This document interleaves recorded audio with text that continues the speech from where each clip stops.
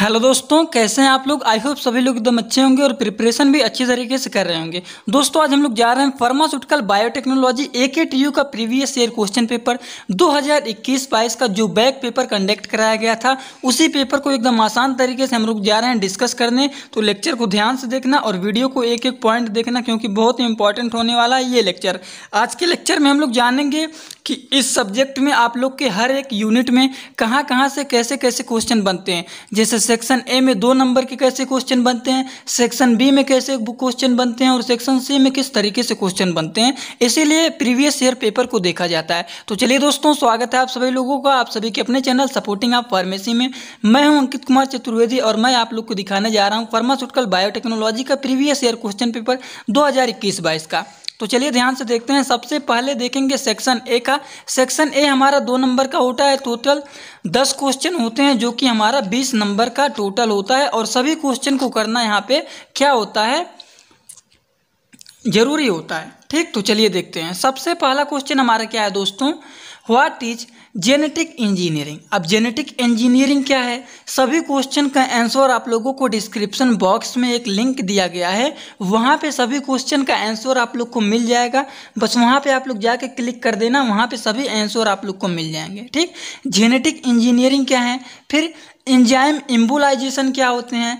DNA ligase का main function क्या होते हैं? डीएनए लाइगेज क्या होता है दोस्तों? डीएनए लाइगेज जो होता है हमारा, जैसे यहाँ पे डीएनए कट कर दिया जाता है, यहाँ पर कट कर दिया जाता है। अब दोनों को आपस में जोड़ता है। अब कट करने का काम कौन करता है? कट करने का काम रिस्ट्रिक्शन इंडोन्यूक्लियज करता है आर ही करता है। और उसको जोड़ने का काम कौन करता है? जोड़ने का काम हमारा करता है डीएनए लाइगेज इसके बारे में बहुत ही आसान तरीके से मैंने बताया है और जाके वहाँ पे डिस्क्रिप्शन बॉक्स में लिंक दिया गया, उसमें देख लेना, पूरा टोटल समझ में आ जाएगा किस तरीके से आप लोग को एग्ज़ाम में लिखना है, ठीक? अगले क्वेश्चन की बात करते हैं। क्लोनिंग वेक्टर क्या होता है और इनके एग्ज़ाम्पल क्या होते हैं? यम एच सी क्या होते हैं? यम एच सी का फुल फॉर्म क्या होता है? अगर आप लोग डिस्क्रिप्शन बॉक्स वाला लिंक देख लेंगे, वहाँ पे समझ में आ जाएगा। अगर आप लोग को पता है एम एच सी का फुल फॉर्म क्या होता है तो कमेंट बॉक्स में ज़रूर बताना। अगला क्वेश्चन देखिए। What are different type of immunoglobulins that are found inside human ठीक? नेक्स्ट क्वेश्चन है हमारा। What is the role of pilus in bacterial conjugation hypersensitivity reactions क्या होते हैं? इनके बारे में लिखना है। फिर what is an autoclave autoclave के बारे में लिखना है। फिर अगला क्वेश्चन हमारा plasma substitute with the proper example पूरे एग्ज़ाम्पल के साथ इसका पहला लिखना है कि प्लाज्मा सब्सटीट्यूट क्या होते हैं, ठीक? उसके बाद डिफिनीशन के बाद इनका लिखना है प्रॉपरली एग्ज़ाम्पल कि इनके एग्ज़ाम्पल भी क्या होते हैं, ठीक? अब बात करते हैं सेक्शन बी की। सेक्शन बी में हमें दो क्वेश्चन करना है। टोटल तीन क्वेश्चन आते हैं। इसमें से दो क्वेश्चन करना है, जो कि दोस्तों हमारा दस दस नंबर का आता है और ये भी हमारा सेक्शन बी बीस नंबर का टोटल होता है। तो इनमें से दो क्वेश्चन जो एकदम अच्छे तरीके से आप लोग को याद है, वही क्वेश्चन को आप लोग को सॉल्व करना चाहिए, ठीक? तो देखिए, सबसे पहला क्वेश्चन क्या पूछा है? Discuss the microbial production of enzyme protease and peroxidase industries पहले लिखना है आप लोग को कि प्रोडक्शन कैसे हुआ माइक्रोबियल एंजाइम का, फिर प्रोटीएज क्या है, फिर पर ऑक्सीडेज क्या है इंडस्ट्रियल में, ठीक? अगला क्वेश्चन क्या है दोस्तों? Describe in the detail process of polymerase chain reaction and its application अब पॉलीमरेज चेन रिएक्शन को साठ में कभी कभी पी सी आर करके पूछ लेता है। इसमें कंफ्यूज नहीं होना है। पी सी आर अगर करके पूछेगा तो मतलब पॉलीमरेज चेन रिएक्शन अगला क्वेश्चन क्या है? अगला क्वेश्चन है देखिए in list the various type of reaction that can be perform using microbial biotransformation and also write down the application ठीक? ये हो गया हमारा सेक्शन बी का क्वेश्चन इसमें से आप लोग को दो क्वेश्चन जो एकदम अच्छे तरीके से आए, वही दो क्वेश्चन सॉल्व करना है, एक आप लोग को छोड़ देना है। ठीक? अब बात करते हैं सेक्शन सी की।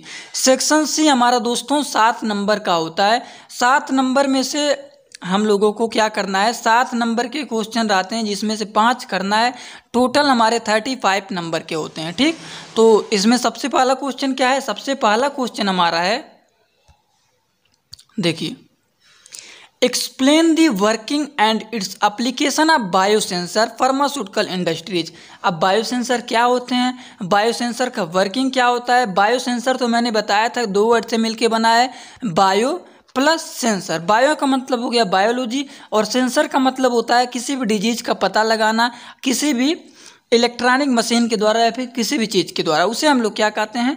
Bio sensor. अब बायो सेंसर के बारे में इससे भी इजी तरीके से मैंने लेक्चर में बताया है और किस तरीके से लिखना है वो भी बताया है। अगला क्वेश्चन क्या है? अगला क्वेश्चन हमारा है कि discuss the application of R D N A technology genetic engineering in the production of hepatic B vaccine ठीक? अगला क्वेश्चन क्या है दोस्तों? इम्यूनिटी ये दो क्वेश्चन हो गया. इम्यूनिटी क्या होता है? इनके डिफरेंट टाइप कौन कौन से होते हैं? पूरा डिटेल लिखना है, ठीक? Write down storage condition and stabilities of the official vaccine next question है difference between the western blotting southern blotting technique western blotting technique क्या होता है? साउटर्न ब्लॉटिंग टेक्निक क्या होता है? ये दोनों में डिफरेंस क्या होते हैं? ये लिखना है. नेक्स्ट क्वेश्चन है discuss the production of griseofulvin using the fermentation fermentation आप लोग का यूनिट फाइव में बहुत ही आसान तरीके से लेक्चर में बताया हूँ। यूनिट फाइव का लेक्चर अगर आप लोग देखे होंगे, देख लेना, नहीं तो प्ले लिस्ट आप लोग को भेज दूँगा, वहाँ से आप लोग देख लेना, ठीक? अगला क्वेश्चन क्या है? Next and last in this section.